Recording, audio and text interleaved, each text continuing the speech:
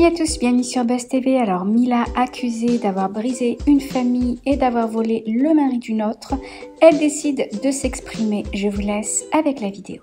J'espère que vous allez bien. Euh, Aujourd'hui, c'est censé être une journée euh, bon plan où je dois vous partager plein de bons plans.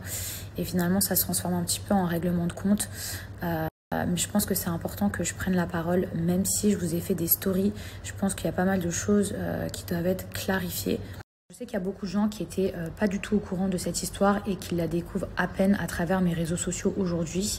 Euh, mais il y en a d'autres qui ont vu pas mal de choses tourner où en fait l'ex de mon compagnon actuel se rend de plateau en plateau chez les blogueurs dont Samzira, euh, dont Nabil pour venir raconter sa version. C'est pour ça que moi je me sens un petit peu obligée d'éclaircir certains points mais surtout rétablir la vérité.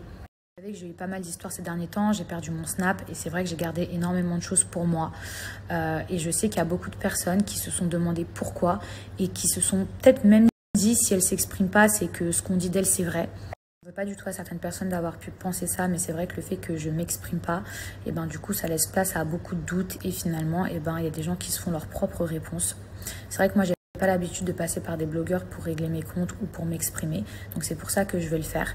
Je vais le faire comme une femme et je pense qu'il est temps que chacun assume euh, ses parts de responsabilité dans cette histoire. Comme vous avez pu le lire, mon histoire elle a très très mal commencé. Elle a commencé sur des mensonges, sur une histoire similaire que j'ai pu vivre avec Mujdat. Et c'est vrai que je vois beaucoup de commentaires où les gens ils me disent Mais Mila, t'apprends pas Ben en fait, non, quand je rencontre quelqu'un qui me dit qu'il est célibataire, je ne fais pas partie du FBI pour vérifier. Dès lors où la personne elle vit seule, euh, qu'elle est tout le temps avec moi, en fait, je vois pas comment je peux savoir qu'il y a une femme planquée sous le lit. Pas à débattre sur le fait qu'il s'y soit très mal pris, qu'il ait mal fait les choses, qu'il lui ait menti à elle, qu'il m'ait menti à moi. Même s'il m'a expliqué certaines choses par la suite, euh, je suis pas en train de lui trouver des excuses. Euh, voilà, sur ça, il euh, n'y a rien qui peut justifier sa lâcheté, il a mal fait les choses. En gros, l'histoire, c'est quoi? Je rencontre un homme qui me dit qu'il est célibataire. Moi, je le crois.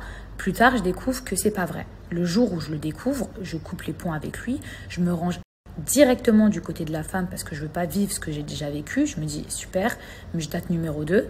Entre temps, moi, je le bloque. Je veux plus du tout entendre parler de lui, peu importe les sentiments que j'avais, etc.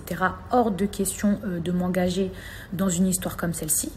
Sa femme, à ce moment-là, l'échange euh, se passe super bien. Euh, voilà, elle se rend bien compte que moi, je suis pas du tout au courant même de qui elle est. Euh, chez lui, il n'y a aucune affaire, il n'y a rien qui pouvait me laisser penser qu'il était avec quelqu'un. Pour moi, quand je l'ai rencontré, il était divorcé. Ce qui est bizarre, c'est qu'elle, elle ne vit pas du tout à Dubaï, mais à partir de là, je me pose pas de questions. Je suis tellement choquée de tout ce que j'entends que je cherche même pas à savoir le pourquoi du comment. Elle est bloquée, elle, elle m'a dit des choses, maintenant on se sait, chacun fait sa vie. Quatre jours après, elle vient m'écrire en m'insultant, en me menaçant. Toutes les preuves, parce que moi, je parle pas pour rien, et franchement, quand je vous dis que j'étais choquée, j'étais, mais genre, vraiment choquée. Je me dis, attends, donc moi déjà, j'ai rien fait dans histoire, c'est-à-dire que je sors avec un mec qui me dit qu'il est célibataire, euh, je vois pas où je suis fautive. Au final, quand j'apprends que c'est pas le cas, tout de suite je le bloque. Elle, euh, genre je parle avec elle et tout, et au final, quatre jours après, elle vient me menacer et m'insulter. Je me dis mais c'est une blague. L'histoire, elle aurait été complètement différente si par exemple je l'avais fréquenté en sachant qu'il était marié.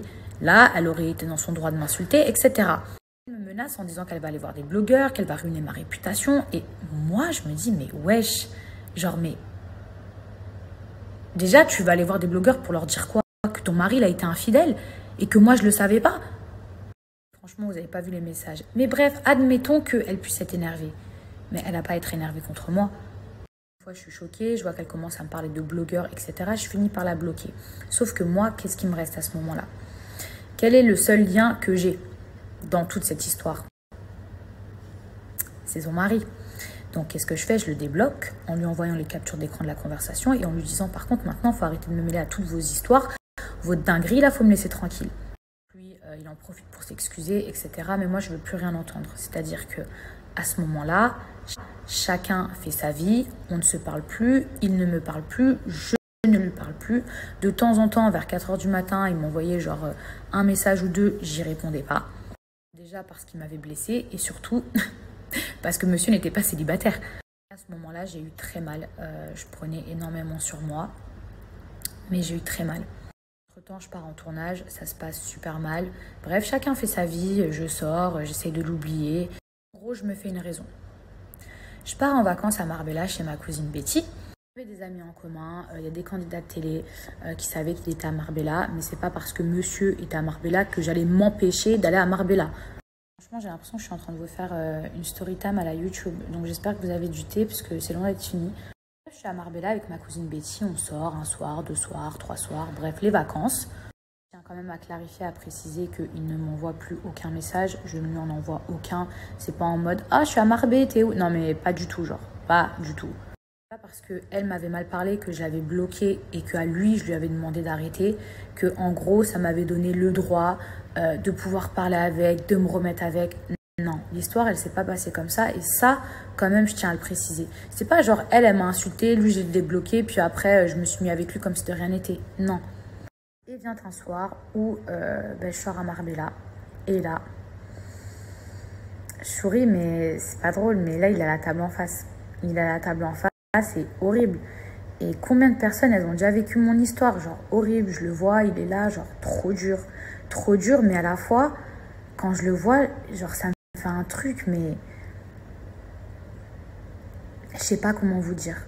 Vous voyez quand, quand vous vous forcez à être dans le déni, à plus penser à une personne, à sortir pour l'oublier, à vous occuper l'esprit, et en fait quand elle est en face de vous, vous vous rendez compte que vous l'aimez.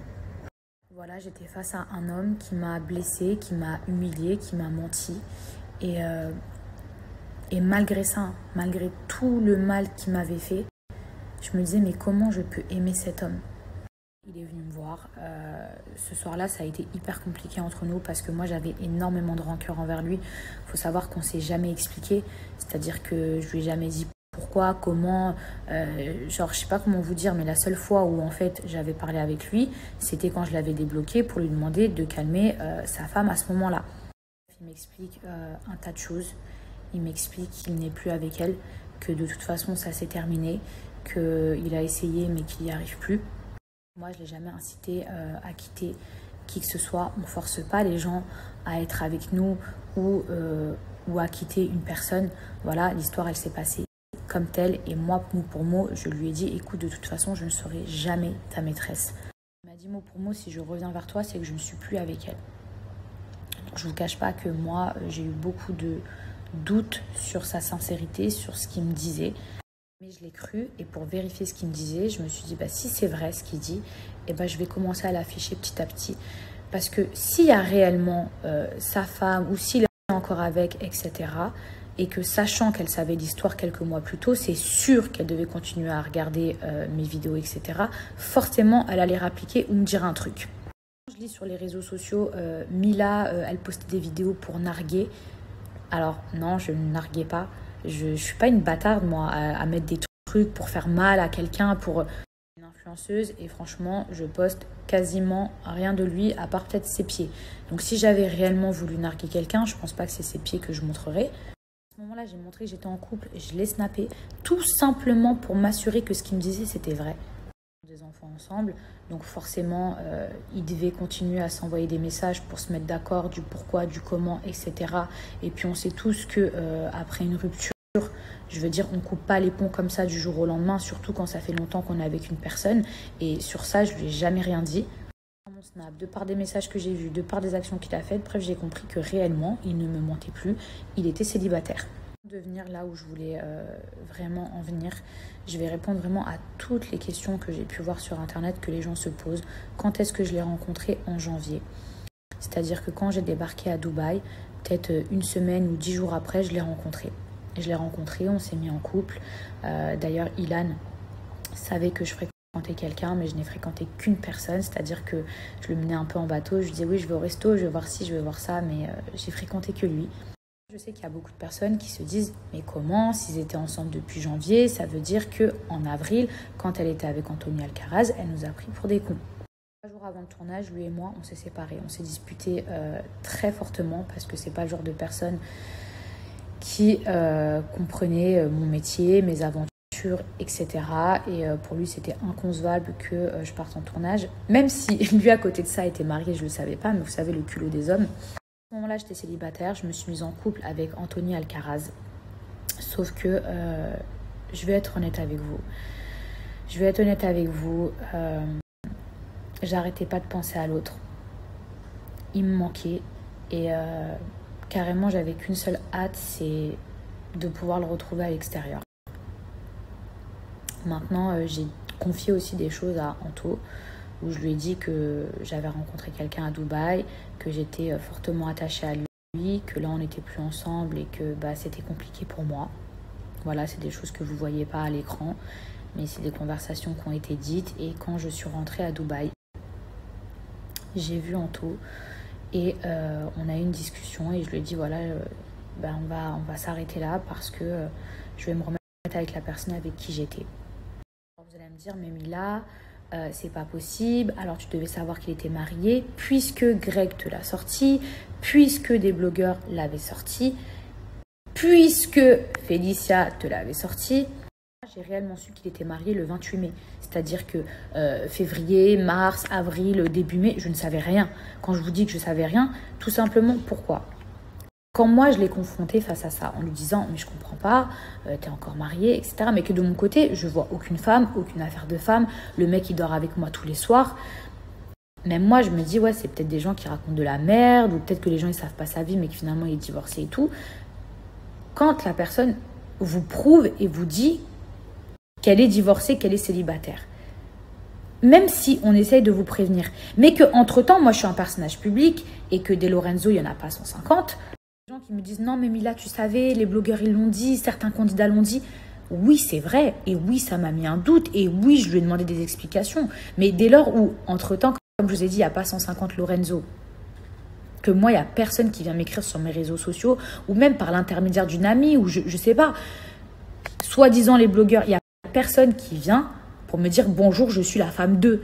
Donc même si le mec, je le confronte, même si je lui demande des explications, si au final je vois aucune preuve et qu'il n'y a jamais de nana qui vient, moi il est célibataire. Ça peut répondre à vos questions. En avril, lui et moi, on s'est séparés. Quand les blogueurs, quand les candidats disaient ceci, cela, non, j'étais pas au courant. J'ai réellement été au courant fin mai, le jour où elle m'a contacté. Quand elle m'a contacté, lui et moi, on s'est séparés. C'est-à-dire que c'est pas genre elle m'a contacté, puis je me suis dit ouais, bon, c'est pas grave. Non, non, c'était grave. Moi, j'ai décidé de le pardonner et en réalité, euh, ça regarde que moi et ça n'engage que moi.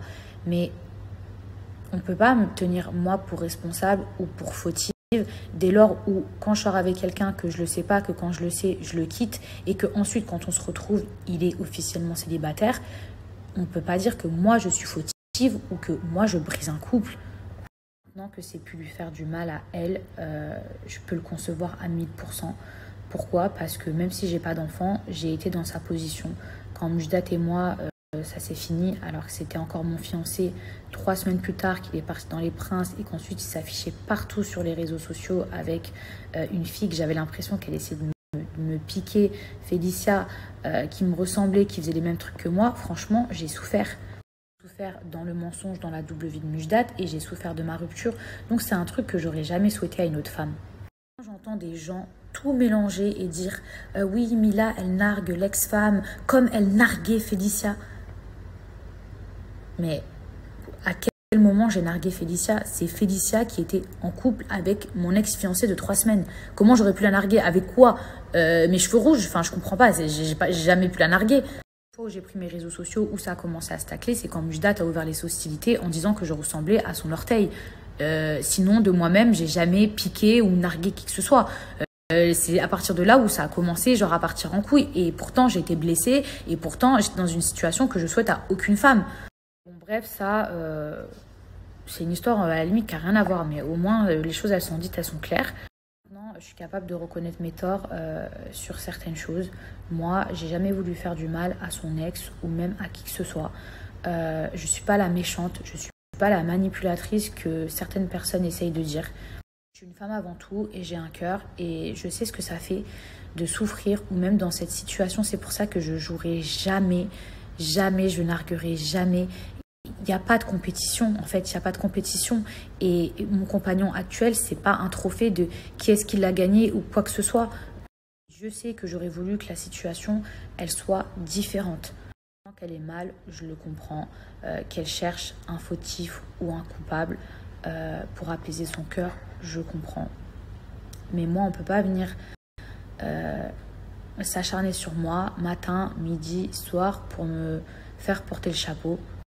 Elle ne peut pas, lui, l'empêcher aujourd'hui de voir ses enfants pour lui faire payer son comportement. Parce que il a peut-être été un mauvais mari, mais elle ne peut pas le priver de ses enfants. ne retient pas un homme avec des enfants, sinon ça se saurait. En fait, les enfants, ils sont au milieu de tout ça alors qu'ils n'ont rien à voir. Et elle peut être en colère contre lui, etc. Mais je veux dire, c'est pas les enfants qui ont à payer de ça parce que euh, c'est pas normal qu'ils souffrent de l'absence de leur père, sachant que lui, il veut être présent. Vous savez, tous les jours, il y a des gens qui se séparent. Tous les jours, il y a des gens qui divorcent. Et c'est pas moi qui ai inventé le divorce. Et c'est pas parce que euh, Lorenzo, aujourd'hui, il est plus auprès de son ex qui doit être privé de ses enfants. On peut pas le priver, lui, euh, de cet amour qu'il a envie de donner à ses enfants et ses enfants qui devraient lui donner.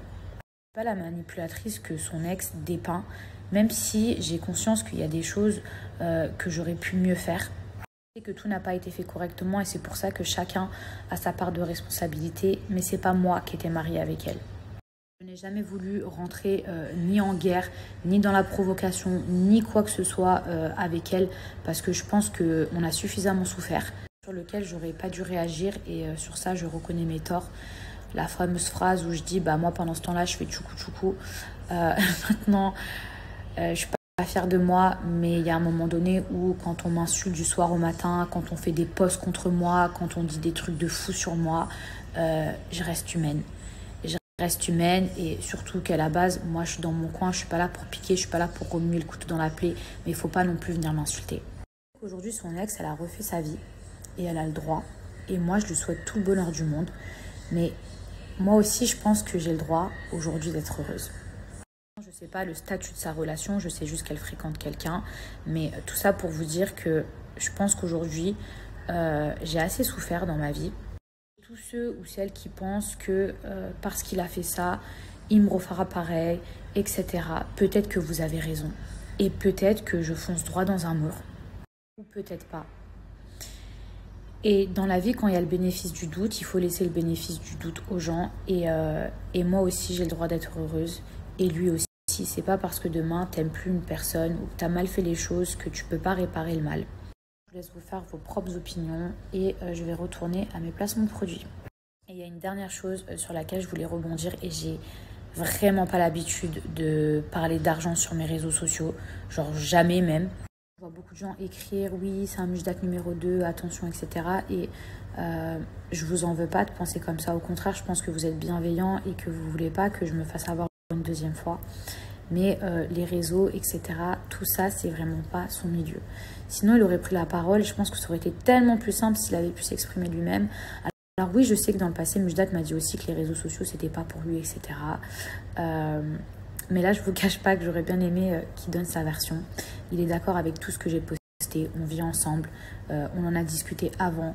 Donc, il n'y a pas de euh, je poste à son insu, etc. Quand je filme son pied, quand je filme ses mains, quand je filme sa voix, je ne le snap pas à son insu. Je respecte le fait qu'il ait tout simplement pas envie d'être sur les réseaux sociaux. Et quand je vous parlais d'argent, alors oui, je gagne bien ma vie grâce à Dieu. Voilà, je me paye des choses, etc. Mais euh, je vois plein de commentaires. Euh, oui, euh, Mila, c'est la pouleuse d'or, je sais pas quoi. il a Michton. sachez qu'il paye tout. Voilà. J'avais même pas envie de rentrer dans les détails. Alors, il y a des choses que j'achète, que je lui offre, mais il paye tout. Donc, si cet homme me michetonnait, ben, j'aimerais bien savoir de quelle façon.